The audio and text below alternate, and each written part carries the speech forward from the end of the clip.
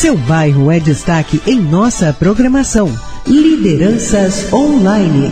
Notícias da sua comunidade. O perfil dos presidentes de bairros e gestores de organizações sociais. Realizações, planejamentos, os problemas e soluções, sempre com um olhar atencioso para a vizinhança. Programa Lideranças Online.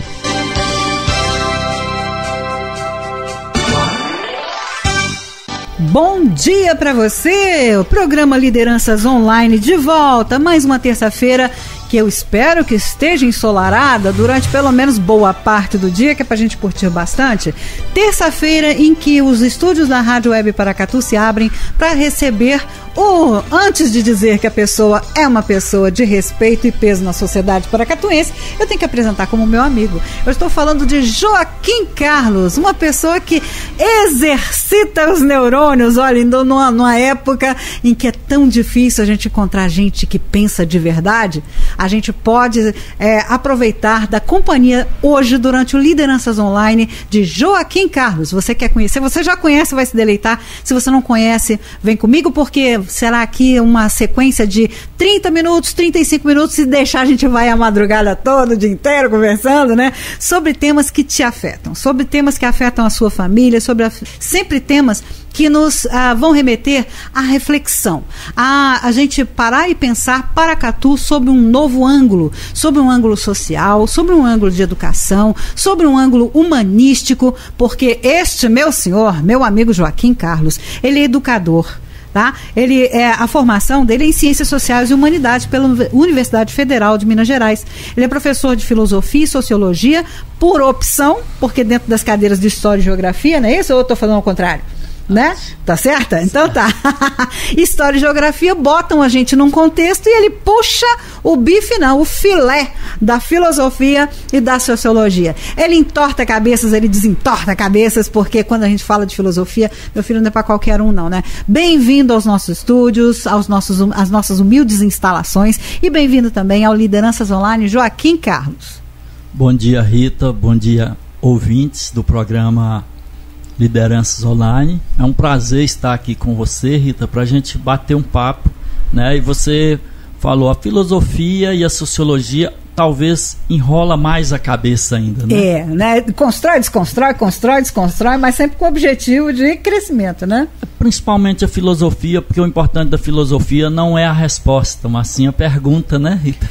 Nunca chega num, denominador comum porque o ser humano também ele é construído cada dia na sua vida e nós estamos nesse, nesse momento passando por momentos difíceis que as pessoas precisam fazer uma reflexão sobre a situação que vive o mundo. Eu acho que nada melhor do que uma pessoa como você na pele de um educador para sentir esses dois momentos, o, problema, o, o momento de, de passar o ensinamento e o momento também de aprender no passar desse, desse ensinamento. Né? Essa relação com a juventude, essa relação com, com os seres em formação, elas, ela, é, essa relação também nos constrói bastante, não é verdade? Eu costumo dizer o seguinte, Rita, o, o educador ele é sempre um educando, ele sempre está aprendendo. Você aprende mais do que ensina, né? Verdade. E se você for fazer um diálogo dos acontecimentos, nós precisamos de entender que nós não vivemos numa ilha. Muitas das vezes as pessoas é, formam-se, constroem uma linha de pensamento e não buscam outros viés. E o, o que eu sinto nas discussões que a gente tem com a juventude é justamente que a juventude fica buscando os porquês, né? E isso é uhum. é muito importante. Mas também precisamos de fazer algumas reflexões das questões que tem e está acontecendo no momento, né? E é, não dá para a gente pensar nesse momento nas coisas que acontecem só em volta do umbigo nosso. Né? Oh, mas essa, essa, essa grande. Eu acho que é a grande cereja do bolo, né? Quando o sujeito deixa de olhar só para si, ele tem um olhar um pouco mais abrangente, um pouco mais amplo, para o vizinho, para o vizinho da frente, para o vizinho do lado, e vai abrindo, abrindo, abrindo, abrindo. Daqui a pouco a gente tem uma formação de um cidadão. E por que que Joaquim Carlos está hoje conosco num programa que se chama Lideranças Online? Simples, meus senhores e minhas senhoras, nossos ouvintes o educador por si só, ele já exerce um papel de liderança, querendo ou não querendo. Por mais manso que seja um educador, porque a gente conhece várias espécies, né? É, por mais manso que ele seja, ele assume um papel de liderança. É ele que está levando ali, em primeira instância, aquele conhecimento, aquela, aquela oportunidade para o educando dele desabrochar. E quando é essa profissão tão maravilhosa, a, a, a qual eu tenho assim a, a o, o, orgulho de ter pertencido durante 22 anos da minha vida, é, é a gente consegue é, é uma, um desenvolvimento desse, desse educando é, com o mínimo que seja de senso crítico, que daqui a pouco nós vamos brincar com essa história, né? olha, é uma injeção de ânimo e uma, e uma coisa que a gente leva para a vida inteira. Então, queira ou não queira, o educador é uma liderança, então a gente tem muito prazer de receber você hoje aqui no Lideranças Online. Vamos conversar um pouquinho, Joaquim, sobre esse. sobre lá do, do, do do começo da carreira da, da, educação, da formação dos nossos, nossos pequenos paracatuenses, né, a gente percebe que Paracatu ainda está num vazio nisso tudo. Por mais que a gente, e eu estou falando especificamente da, do, do, ensino público, ensino particular não, não vamos nem entrar muito nessa linha não, mas do ensino público. É, você concorda comigo que hoje a gente tem uma deficiência que se torna crônica a cada minuto para a formação desses nossos pequenos paracatuenses? Rita, infelizmente, isso em Paracatu eu vejo com a tristeza que eu, é, eu trago isso como uma questão cultural se você for olhar o nascimento da nossa cidade, é uma cidade que vem do escravagismo. E as pessoas foram ficando muito dóceis. Né? E isso transfere isso para outras pessoas e para a geração nova. Nós hoje não uhum. temos é, geração crítica que observa. Né? Nós somos geração que estamos sendo treinado para o aceitar. Pacificamente, pacificamente, Ou passivamente, que é pior do que passivo. É, né? passivo, né? E, é. e, isso é preocupante. Porque uma nação, uma sociedade onde as pessoas não observam, não constrói, porque a crítica ela é, é uma construção, né? uma construção de opinião, né? uma construção de firmamento e buscar conhecimento. E o, o que me deixa um pouco preocupado é porque nós estamos vivendo um momento aonde o Estado que deveria dar essa condição, inclusive dos educadores ter um senso crítico, o Estado está virando uma formação de mão de obra. Né? Uhum. Infelizmente, nós não temos é, formação de pessoas. É um pelotão de trabalhadores que ocupa a posição de, de educador, né? É, o Estado hoje. É, por que, que eu falo do Estado? É porque você vê o Estado virou é, formador de, de pessoas que não cria. Aham. Uhum. Exatamente. E a criação, ela é o fundamental para o ser que humano é, informação, né? É, é, um, é um círculo vicioso, onde não se formam é, é, mestres, ou hoje até é difícil você dizer que alguém é um mestre, né? Mas enfim, regentes de turma né, é, com pouca qualificação, que geram alunos também deficientes em, em, conteúdo, que mais tarde serão aqueles também que vão usar o tal do diploma desodorante, aquele que só serve para ficar debaixo do braço e fim de papo, né? É o Ctrl C, Ctrl V, né? Aquele que não, não, não produz nada, não, não, não devolve nada para a sociedade. Ele é apenas um, um mero reprodutor, um xerox, uma máquina de xerox apenas. É, isso uh, num, num, num, Estado capitalista, é isso que, que o Estado precisa, né? De pessoas que não pensam, que não criam, mas que obedecem. Uhum. Então, é, quando a gente fala da filosofia, é porque a filosofia talvez ela ainda é um, um campo do conhecimento onde você traz a reflexão a crítica, a observação e a construção. né? e o ser informação, né? principalmente a juventude, ele tem que ter senso crítico, porque senão vai ficar só nessa nessa condição que você mencionou, né, do contra C, Ctrl C, Ctrl Z, né? e infelizmente é, nós precisamos de ir além disso.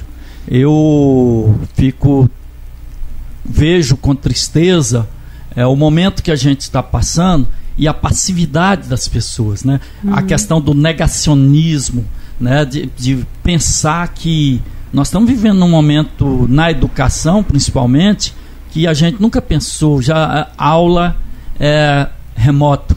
Né? É. Foi uma coisa assim. A gente não tem mais ousadia nisso, né? Perdeu-se essa ousadia de, de achar uma outra maneira de você tratar uma turma, né? De tratar o alunado, né? É, ficou todo mundo naquele método convencional, naquela coisa. Mesmo acho que partindo agora para o vamos dizer assim, a retomada do respeito ao EAD, ao estudo à distância e, e, essas aulas remotas, mesmo tendo até a tecnologia a favor, não mudou muita coisa, né? Não... É, eu, eu tenho o maior apreço para a questão da principalmente dos cursos EAD por um, um, um, um motivo, um único motivo me traz pensar porque as pessoas têm que ser disciplinadas.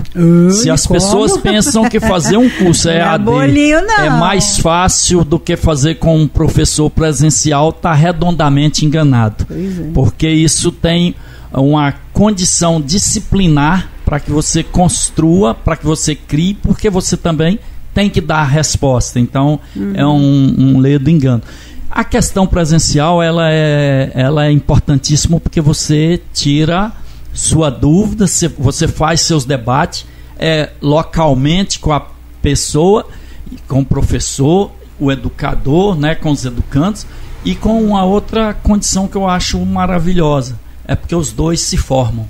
Justo. E você. É, é a via de mão dupla. É, e no meu caso, que sou, antes de tudo, também sou um ativista social, né, fui é, construído no campo da formação popular, uhum. né, para que a gente é, tenha condição e clareza do que a gente está fazendo quando você entra dentro de uma sala de aula, uhum. é justamente nesse sentido de que nós precisamos de pessoas, nós precisamos de massa crítica que não concorda ou discorda, mas que também dê opinião no que está acontecendo. Nós estamos vendo, e aí eu vou trazer, Rita, talvez seja até um pouquinho ousado, nós uhum. estamos vendo o que está acontecendo no Brasil. Né? E, e, e, a mansidão, e inclusive até a opinião de algumas pessoas que acham que o que está acontecendo no Brasil, que o que está passando o país é normal.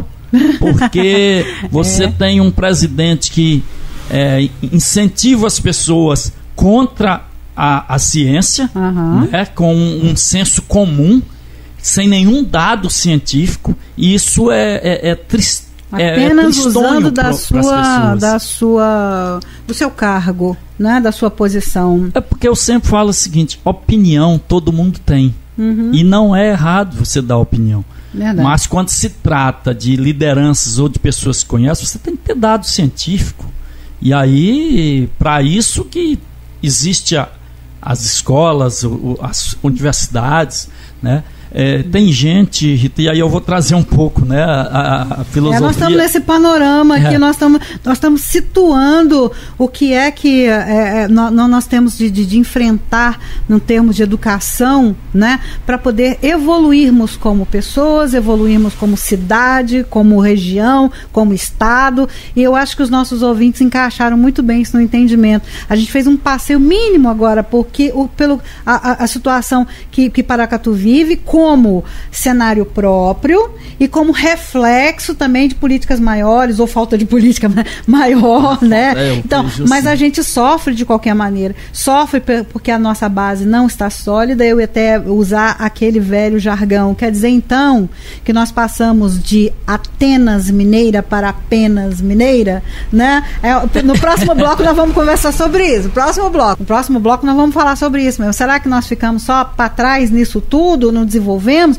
como é que ficou essa história de, de, de termos mais ousadia nas nossas, não só na sala de aula, mas é, na, na criação mesmo dos nossos filhos na própria cidade. Temos a confiança de que Paracatu ainda carrega consigo aqueles, aqueles louros e ouros de, de épocas an, anteriores, onde a gente tinha realmente pensadores, onde a gente tinha uma população, não digo, mas expoentes, expoentes na cidade que mostravam o que era Paracatu para o mundo. Você, mundo. Você concorda comigo? Verdade. Isso, então aguenta aí, nós vamos para um intervalinho, daqui a pouco a gente volta já com essa pedrada, porque assim, aqui no Lideranças, quem senta aqui, quem pega esse microfone tem que dizer que veio, né? E você é uma pessoa cheia de conteúdos, eu tenho certeza que vai trazer para nós e assim. De contradições. E con graças a Deus, graças a Deus, é porque não, oh, é, é, bom bater, né, de frente, não é não? É se fica todo mundo igualzinho, vira tudo carneirinho, vai tudo pro, né, pro buraco junto, né? Eu acho que é a força do, do choque que gera uma outra coisa, né? Gera pelo menos energia. Então nós vamos lá, mas a gente volta rapidinho, porque hoje o papo é filosófico, né? Mas dentro desse gente, dentro dessa filosofia tem buraco, viu? Tem, tem pedreira, tem pauleira, e nós vamos descobrir já já. Somos a, Atenas Mineira ou somos apenas Mineira? Vamos discutir isso já já. Estamos apresentando o programa Lideranças Online, programação exclusiva Rádio Web Paracatu.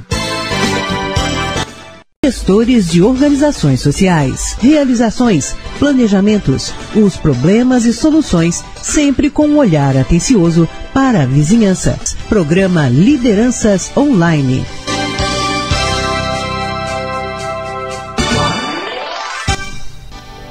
Estamos de volta, Lideranças Online, nesta terça-feira, com reprise no sábado. Você não pode perder. No sábado, a partir das 10 da manhã, estaremos de volta é, trazendo essa temática para você, porque se você perdeu na terça-feira, sabadão, você pode conferir esse papo cabeça, esse papo onde a gente debulha o nosso convidado aqui para entender por que, que ele exerce um papel de liderança.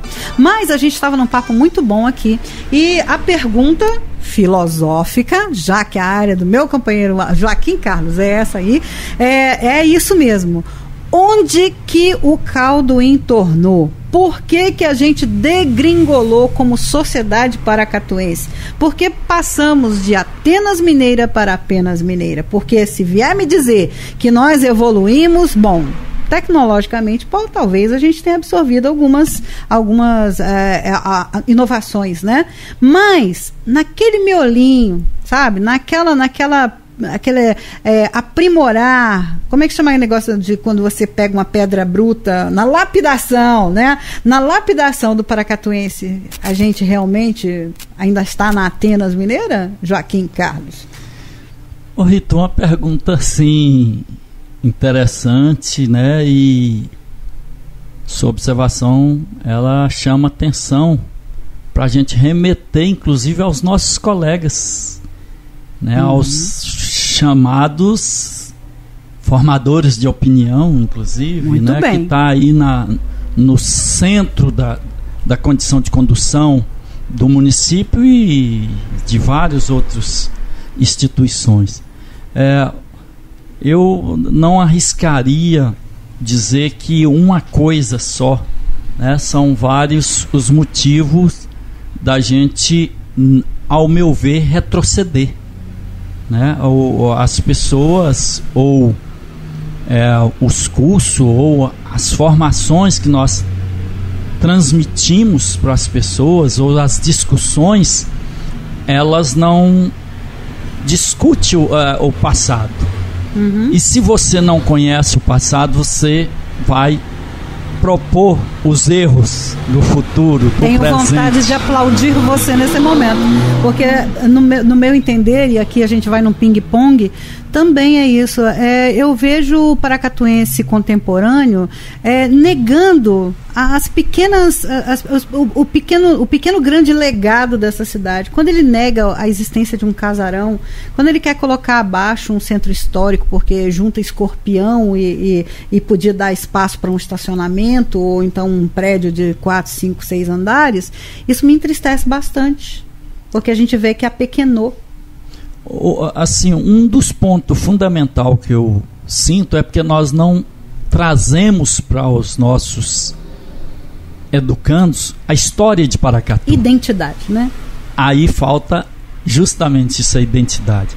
Porque se você não conhece sua história, como você vai apegar a ela? E Paracatu, é, é, é, e aí nós vamos eu, trazendo no que você fala, deixa, se torna apenas uhum. né, mineira, é, eu vejo isso um dos pontos fundamentais. O nosso povo não conhece ou nega a sua história. Quem deveria estar tá repassando? Nós deveríamos estar né, tá dentro desse contexto histórico da nossa cidade. Não basta você ter é, simplesmente na musicalidade do hino de Paracatu. Hum. É, a vaga lembrança sobre o que nós fomos. Mas né? quando você chega é, dentro da onde deveria ser o caminho, que vou falar das instituições educacionais, e aí coloco todas, sem uhum. exceção, você não tem nada que remete a Paracatu, a construção de Paracatu. Você e sente... você valoriza, só pra, sim, sim. e você começa a valorizar só a questão do hoje, sem observar o ontem e sem valorizar. Isso você perde as raízes. Lição, lição que não foi aprendida, né? Verdade. É. Você, você hoje considera que isso também é um pouco de falta de política pública local para essa valorização? Eu considero quase que total. Porque se falta na educação é porque talvez falta incentivo das políticas públicas. Uhum. E Elas você não, não tem, é, isso, e você né? hoje não tem, e aí é uma, uma tristeza. Você não porque isso você não constrói simplesmente dentro de quatro paredes dentro das instituições escolares, uhum. mas estão aonde? Nas localidades, aonde está o incentivo a várias ações que nós tivemos no passado. Será que os nossos jovens de hoje conhecem aí é, Congado que tinha em Paracatu? Será que os nossos jovens conhecem as história dos quilombos que estiveram em Paracatu. Então, é, história da mineração na cidade. A história da mineração artesanal, é. né? E, então isso é, deveria ser incentivado com política pública nos locais. Você estava dizendo, Rita, e aí eu trago para isso. Gente, nós temos várias ações que deveria ser construída. Folia de Reis, a questão da capoeira, Uhum. Né? É, essas questões são, são é, voltar uhum. à lembrança e à firmeza de um povo.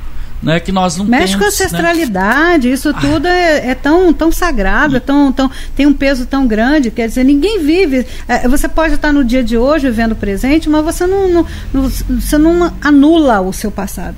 Não, se você for, for olhar, e aí eu vou falar um pouquinho como é, estudioso, é, tudo que está acontecendo, tudo, uhum. sem medo de errar. Que está acontecendo hoje, aconteceu no passado. Uhum. Só que é claro, tá de com roupa outro nova, contexto, mas é. né? É com outro contexto. Uhum. Por que que hoje nós estudamos, e aí eu vou trazer para o campo da filosofia, como Sócrates ainda revoluciona todo o campo filosófico do conhecimento, de formação humana, né? Uhum. Por que que quando você nega os conhecimentos que Galileu trouxe e hoje são e hoje são retratados na escola? Então nós temos que fazer uma observação nesse sentido, porque muitas vezes você está pré-julgando as pessoas que talvez está construindo o país hoje por falta de conhecimento das pessoas e você vai no, no, no rebanho, uhum. né? E desconstrói a formação de um povo e isso chama aculturação. É. Tra... A pessoa se torna incapaz de defender a, a, a terra que mora. Né? Você hoje fala, eu, eu vou, vou jogar para um campo que a gente milita, que é o movimento popular, né? Movimento popular de todas as vertentes possíveis, né? Como é difícil você mobilizar pessoas hoje. É. Como é difícil. É, é e assim, era para ser tão mais fácil, né? Porque tem as redes sociais, né? Só que as pessoas prenderam né? simplesmente dentro de casa para isso, uhum. né? E não sai mais para. É, é, eu tenho uma das coisas que eu, que eu acredito, Rita, e eu tenho falado muito isso, é a questão do amor, a humanização das pessoas. As pessoas perderam a questão da solidariedade, né? E isso é construído quando você está junto. É, isso não é construído é à distância, né? Não é construído simplesmente num teclado. Isso precisa calor, pra, é, né? precisa do calor e o calor humano ele reconstrói isso. Eu acredito o seguinte: a gente que trabalha no campo da filosofia, a gente acredita no amor é, como é, mela, mola mestre para que você construa uma sociedade. Uhum. A partir do momento que você perde esse campo de ter amor e amor de um com o outro, você perde todo, porque vira mesmice. Uhum, porque verdade. o que eu. É, perde a cola, perde, perde a liga. É, a liga. Você uhum. achou a palavra correta. Você perde isso que é uhum. é da humanização. É, infelizmente, nós estamos no, na, na, na rede de educação, nós estamos ali para reproduzir muitas vezes aquilo que não é verídico. Verdade. Né? Você constrói e reproduz coisa que não foi vivenciada ou talvez. E aí eu quero trazer, me desculpa é, fazer um parênteses aqui, a história do Brasil até pouco tempo, uhum. ela era fantasiosa. E ainda tem pessoas Ixi. que continuam reproduzindo, reproduzindo a história, né? É essa verdade. história fantasiosa, é. ou para não dizer mentirosa, né? é. né? É, engraçado, Joaquim, que a gente conversando aqui, é, a gente vai colocando assim no nível de, dos, nossos, dos nossos ouvintes, né? É, cruzando as informações. Onde é que essa, essa filosofia toda que a gente está desenvolvendo aqui, essa análise toda que a gente está desenvolvendo aqui, cruza com a geladeira do nosso, do nosso ouvinte? Cruza, gente, cruza. Você mora aqui, você se sujeita às regras locais. Você está dentro de um sistema que se é, apenas um um, da, um, uma ovelhazinha berrar, ela não é, não é ouvida, todas as outras estão quietinhas, ela, ela não é ouvida, só um berrozinho não adianta. Né? A, a, a união é que faz a, a, coisa acontecer. Se hoje, por exemplo, vamos citar um exemplo concreto, se hoje nós temos um, um problemão igual a Copasa, que esse é um problema que todo mundo está afetando todo mundo, todo mundo já sofreu, vai sofrer, né, está sofrendo nesse exato momento algum revés em, em relação à Copasa. É, é, se, se nós não sairmos dessa condição de, de ovelha que não berra, de cabrito que não berra, entendeu? Se não aprendermos através dessa reflexão filosófica, desse amor pela terra, dessa, dessa, desse prestar atenção no, no conjunto, na, na hora de você aprender um conteúdo e tudo mais, você vai ser mais uma daquelas ovelhinhas quietinhas que não vai levantar sua voz, não vai participar de movimento popular, você não vai se defender, você não vai defender a terra que você mora. Né? Então, assim, onde é que cruza isso tudo com a minha geladeira, Rita Ribeiro? Cruza, cruza com a sua geladeira, cruza com a sua conta de água, cruza, cruza com a sua conta de luz, né? cruza com o momento que você vai mandar o seu filho, o seu neto para uma escola e você não sabe que para que escola que você está mandando ele. Você, quem é o mestre que vai estar tá lá regendo a sua turma? Cruza sim, gente. Então, o Lideranças Online é para trazer o Joaquim aqui para a gente conversar sobre. Não, a gente conversa com filosofia. A gente conversa sobre o seu drama diário com filosofia. Estou errada? Eu sempre pergunto estou errada, porque eu estou dando bola fora, não sei. Não, Rita, você. É, né, eu vejo que o seu conhecimento, ele. Né, tanto da vida do movimento social, popular, como né? Você a gente é como, povo, como já é, diria minha amiga Soela, a gente é povo. E você é uma pessoa que está na comunicação, você conversa com as pessoas através do rádio e sente o que as pessoas sentem. Isso é importante, porque é, você não é só programa. E nós, o microfone não serve só para colocar para fora, não. Justamente, né? porque é, infelizmente isso. Então o que eu vejo é o seguinte, né? O que está acontecendo aqui hoje, ele não foi construído hoje né? E, e, infelizmente as pessoas que estão há mais tempo e que têm esse conhecimento é, se aquietaram, se acomodaram ou se beneficiaram e, e com isso cada vez vai regredindo mais a condição uhum. das pessoas enquanto ser humano. Você falou uma coisa que é, é interessante para a gente observar. Você hoje não dá importância à dor do seu vizinho. Né? Você não, uhum. não preocupa com o que está acontecendo com o outro. Aparece, a gente é, é, é de nós humanos, é, algumas é, que a gente faz correntes, faz algumas, mas isso só não basta, porque você, é o seguinte, remediar, isso é necessário, porque saco vazio não para em pé. Mas você uhum. tem que, daí você tem que ter consistência pro, pro, proposta para dar continuidade. Continuidade você dá com políticas públicas, com pessoas com condições de formação de cidadão. E se você só faz isso quando a cidadania, né, as pessoas entendem o que, que é cidadania, qual é seu papel enquanto cidadão na sociedade. Uhum. E nesse contexto, precisamos de ter essa observação. E você fez no início uma fala que eu achei interessante, fica até um pouco constrangido para mim, mas nós estamos formando pessoas para cuidar do seu filho na escola como transformar a criança num cidadão ou simplesmente em obediente, né? Obediência ou uhum, desobediência. Exatamente. Bom questionamento. Vamos fazer mais um intervalinho rapidíssimo. A gente vai para o terceiro bloco trazendo esse questionamento. Nós, pais, como é que nos comportamos com isso? Você, mestre, como se comporta com isso? Tem jeito? Tem ferramenta para isso?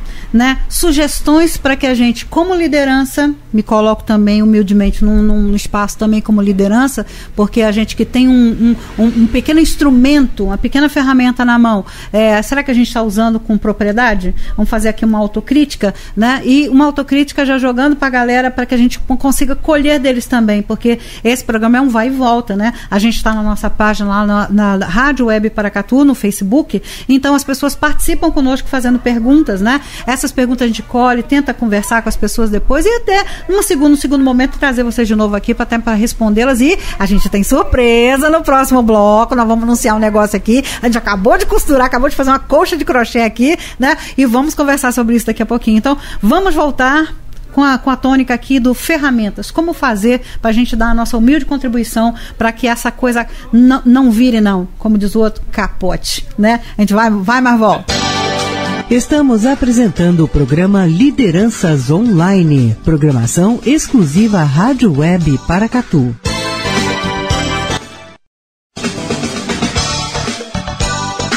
Seu bairro é destaque em nossa programação.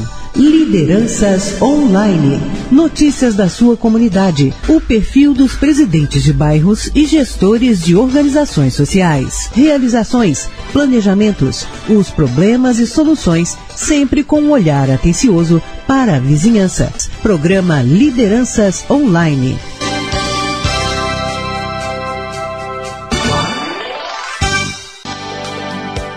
Lideranças Online trazendo mais um questionamento nesse terceiro bloco do nosso é, programa de hoje, que você consegue conferir todas as terças com um repeteco no sábado. Também acompanhe, acompanhe Lideranças Online, porque aqui a gente não fala somente sobre o papel de líder, a gente fala sobre tudo, fala sobre a sua vizinhança, comunidade, sobre o município, sobre o estado, sobre tudo de um modo geral, do ponto de vista do nosso convidado aqui nesse ping-pong gostoso. Então, vou voltar aqui a pergunta e era a seguinte, antes da gente conversar sobre ferramentas de transformação de sociedade através das mãos de, de professores, mestres, enfim, de condutores da, da nossa, dos nossos grupos sociais, eu queria saber se hoje, Joaquim, você que é um professor que atua também na área rural, se você vê uma diferença muito grande entre o aproveitamento do aluno que está aqui na parte é, urbana para aquele que faz, uh, que frequenta as aulas na parte rural.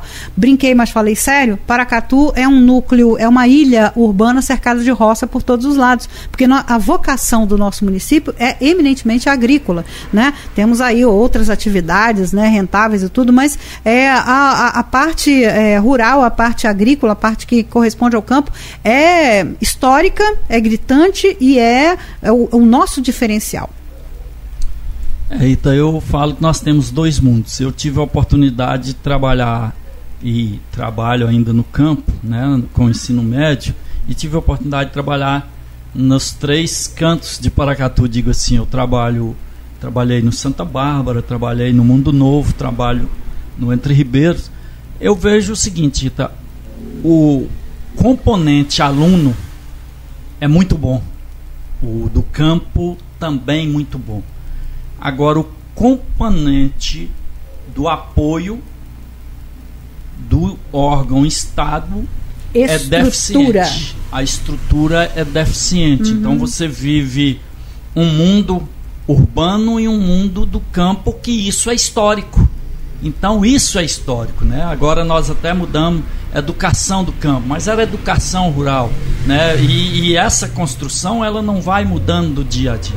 Os movimentos sociais fez uma recuperação nesse sentido, mas o Estado ainda é muito caótico nisso, né? É, a, a, gente ainda vive a diferença do, do homem urbano sabido uhum. para o homem rural, mesmo com todas as tecnologias.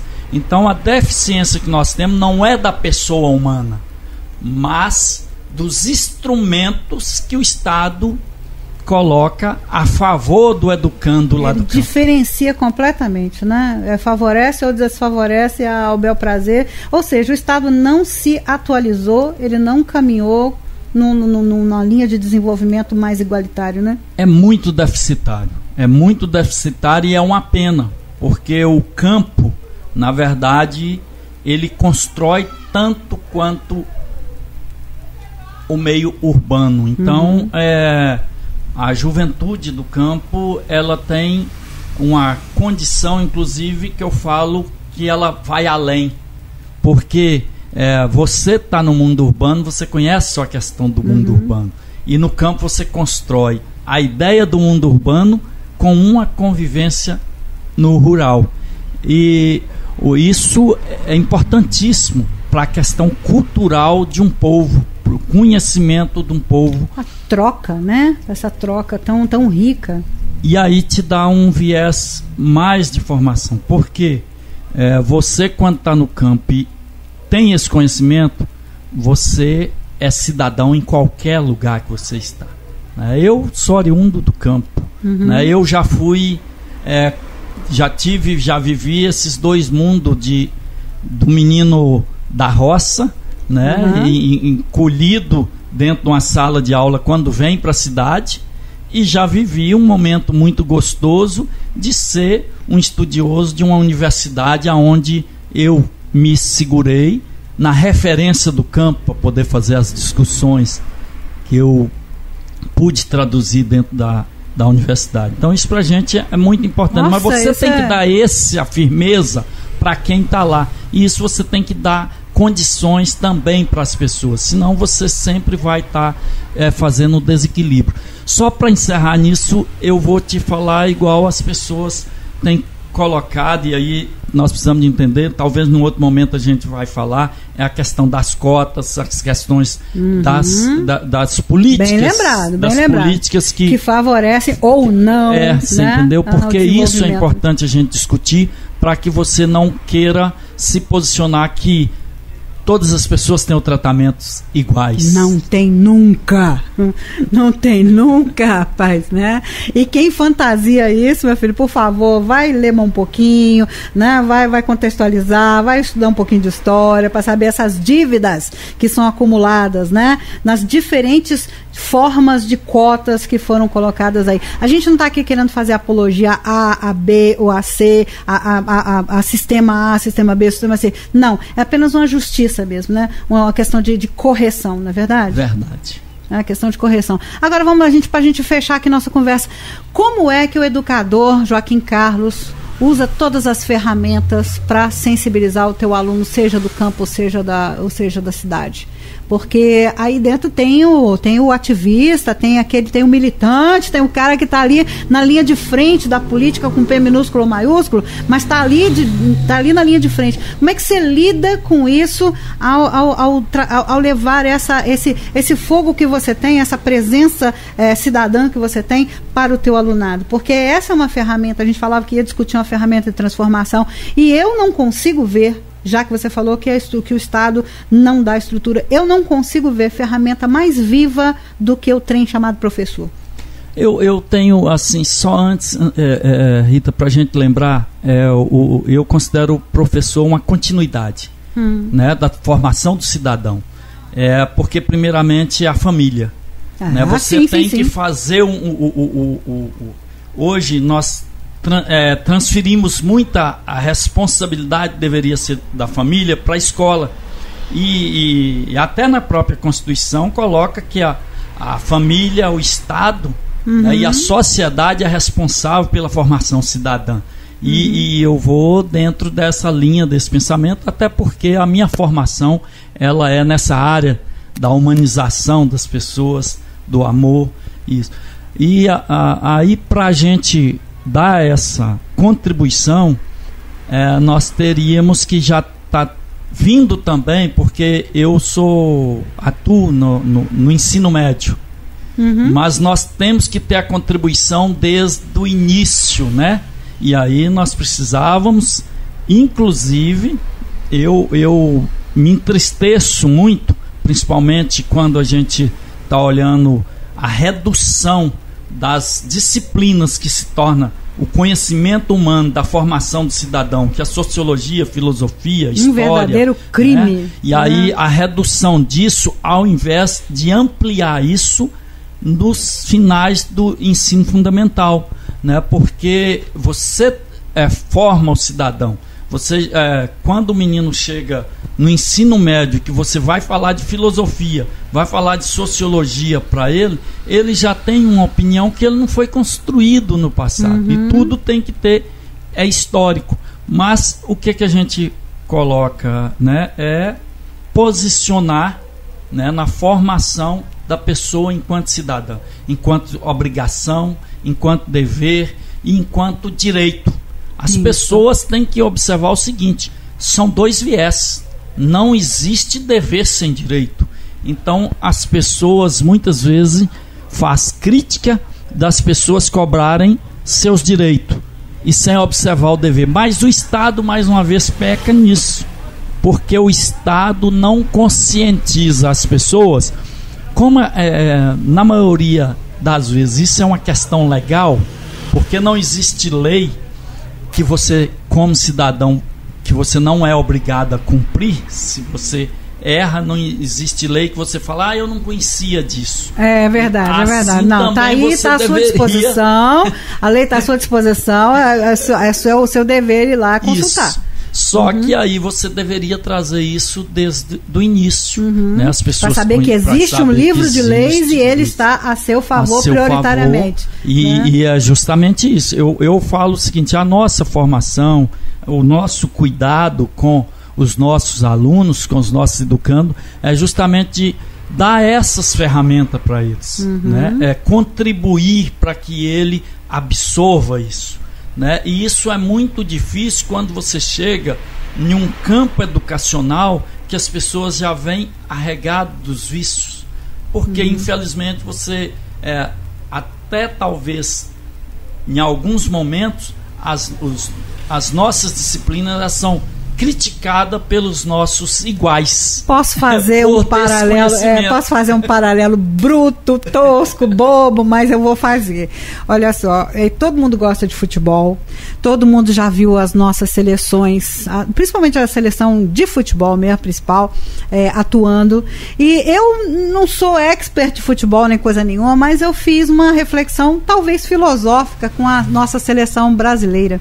Ela é uma seleção, teoricamente foram pensados os melhores, os maiores talentos de cada um dos times, né? Mas, como seleção, nós não deveríamos jogar como conjunto? Pois nós continuamos jogando como talentos unitários e dependendo cada vez mais do talento do A, do B ou do C para ganhar ou perder um jogo né? Então eu vejo que isso se reflete muito na nossa sociedade. A gente vive olhando para o talento alheio e olhando para assim, não, mas ele tem que me defender, ele tem que ir lá e fazer o gol, ele tem que. Ele joga transferindo problema, né? A gente vê pensar mais como uma seleção, pinçados, talentos como somos jogando em conjunto, do que ficar apontando o dedo dizendo aquele lá é o super-herói, aquele lá tem que resolver, aquele lá tem que isso, tem que lá. E a gente acaba afundando, perdendo o jogo e perdendo o campeonato, né? E aí a gente não vai passar nunca desse campeonato se a gente continuar desse jeito. Mas mas enfim, essa é apenas uma reflexão tosca que eu vejo assim que a gente não pode realmente delegar coisas. Como eu pedi para você e você numa maestria tremenda você, você colocou aí que a, a, função do mestre e a, o cuidado que o mestre tem que ter. É, eu, eu vou chegando ao, assim, ao, ao, final do nosso, nosso encontro de hoje, já com gosto de Quero Mais, porque a gente vai ter esse Quero Mais, eu vou anunciar daqui a pouquinho. Mas assim, parabenizar pela, pela postura que você tem, serena, firme, consciente do que tem que ser feito, né? E, e, e é, como você falou, o mestre ele não vem pronto, ele é construído, né? Assim como o aluno é construído também Seria um conselho que você daria agora para, já chegando naquele jargão do conselho, mas seria um conselho que você daria para uma geração que está vindo aí na, na, na, rasteira da formação, na esteira da formação, é uma rasteira também, da formação, da formação deficiente, né? Porque a gente ainda agora analisou isso, né? Será que essas ferramentas que vêm aí, elas vêm aprimoradas ou elas vêm toscas, elas vêm só como um cinzel e um martelo? A dificuldade que eu vejo, Rita, é porque as pessoas pegam nas coisas fáceis e as coisas gostosas são difíceis. Uhum. E nós temos várias ferramentas, mas eu, né, eu vou colocar nessa questão unitária, como você fala, eu acredito na primeira opinião, sendo que uhum. tem vários campos e vários viés para que eu faça a pesquisa. Essa é uma das deficiências que nós temos enquanto ser humano de acreditar ou posicionar na primeira opinião ou impressão que eu tenho. Então nós precisamos, né, eu acredito que é, é buscar, é pesquisar, porque senão nós vamos viver de fake news, retratando fake news como se fosse verdade é. e fazendo milagres, né, com coisas que não seria o que a gente deseja. E nós, postura de rebanho para abate, né? É, nós vivemos isso, né? uhum. né? Nós, se você for olhar hoje, os arrependimentos mas pela ignorância do desconhecimento, pessoas que estão sendo prejudicados ainda acham que a coisa tá boa. Né? Uhum. Nós perdemos praticamente todos os direitos conquistados, né? É, há lutas, né? Por as pessoas não conhecer como foi construído, perdemos e ainda tem gente acreditando que nós estamos bem. E outra coisa, né, essa questão do individualismo que você falou. Nós vamos colocar isso com mais profundidade em, outra, em outro momento, mas o individualismo ele é o grande pecado do é, momento. Verdade. Se eu estou bem, desculpa a expressão, se vira o outro, porque é. eu, eu, eu conquistei, não existe outras ações. E, e essa é um viés que a gente, a gente enquanto educador, enquanto pesquisador, não está no nosso diálogo, no nosso vocabulário. É, hum. Para a gente, o bom é uma sociedade como um todo. Nós não queremos um talento é, individual, buscar só nele hum. a representatividade ou que ele faça e a gente assine embaixo. Nós queremos que todos assinam, né? né? Verdade, verdade. Gente, é, é o tal negócio, né? Prefiram os professores. prefiram os professores, por favor. Nem tanto, né? mestre. Né? Pois é, prefiram os professores. Eu já estou jogando uma discussão para 2024, né? Então, é, prefiro, aliás, 2022, 24 nada, 2022. É, prefiram os professores, viu? Por, por, por questões óbvias, né? É, ó, deixa eu então fazer aqui o um anúncio. Aqui na nossa colcha de crochê, aqui num, num papo prévio, antes da, da, da gravação do nosso programa, nós chegamos aqui a um consenso que Joaquim Carlos vai ser a nova, a nova atração desta rádio web Paracatu que vos fala. Pois é, teremos o orgulho, teremos assim a satisfação, felicidade, tudo que é sinônimo disso tudo, né? De receber Joaquim aqui num programa que a gente vai formatar ainda, vai ficar mais bonitinho, mas já chegamos à conclusão aqui do, do título, já chegamos no consenso? já chegamos no consenso? Vamos, vamos, vem vamos, aí, gente, vem aí, gente, vem aí, senso crítico, é a nova atração da Rádio Web Paracatu. Aqui você vai ouvir não só música de qualidade, não, você vai ouvir papo bom, gente, papo bom, papo cabeça, mas não é aquele papo cabeça que te deixa querendo tomar uma aspirina daqui a pouco não tá, é aquele papo cabeça que vai te fazer pensar nas coisas que devem ser pensadas e ponderar o que deve ser ponderado. Porque aqui o nosso som é o som da cidadania. Se não tiver a ver com, igual a gente falou ainda agora, com a sua geladeira, com a sua casa, com o seu núcleo familiar, entendeu? Com aquela, com aquela, com aquela as pessoas que você ama ali no círculo minúsculo da sua casa, então para nós não interessa né? Para nós não interessa. Tudo eh, para nós interessa aquilo que afeta lá o miolinho da sua casa, certo? Joaquim, eu só tenho para te agradecer. Foi uma tarde hiper agradável. Você não tem noção, gente. Aí chegou aqui muito mais cedo. A gente tava de trololó aqui antes, lá no esquenta, para depois começar a gravar, né? Agradecer a sua disponibilidade, a sua vontade e esse papo gostoso, né? E que a gente vai esticar esse papo no senso crítico, vai ou não vai? Se Deus quiser, estamos aí. Rita, eu que tenho que agradecer, né, pelo, pelo espaço, pelo convite e para mim é uma satisfação poder contribuir, né? E nós não estamos aqui para poder ensinar, nós estamos para caminhar juntos, nós estamos para discutir os problemas que afetam a sociedade, que se uhum. afeta a sociedade, afeta a mim, que também faço parte dessa sociedade, e ponderar sobre alguns questionamentos enquanto cidadania, enquanto filosofia, enquanto ser humano, né? Aqui na face da Terra, porque senão essa sociedade nós não sabemos para onde estamos indo. E fica sem sentido, né? Afinal de contas, o gosto da vida tinha que ser um negócio saboroso, tinha que ser um negócio para cima, tinha que ser alguma coisa que, que é, é, incentivasse a gente a abrir a janela e, e, olhar sem, sem essas utopias todas, sem, sem essas, essas, essas coisas de Alice no País das Maravilhas, mas eu acho que a gente é de direito a gente amanhecer todo dia bem, pelo menos, né?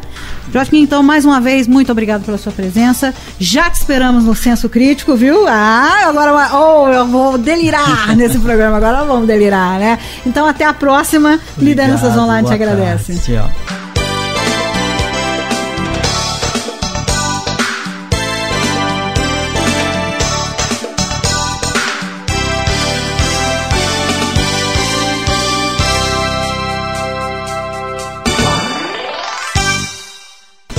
Lideranças Online. Apresentação Rita Ribeiro. Direção-geral Equipe Rádio Web Paracatu. Edição e técnica Casa Rústica Produções.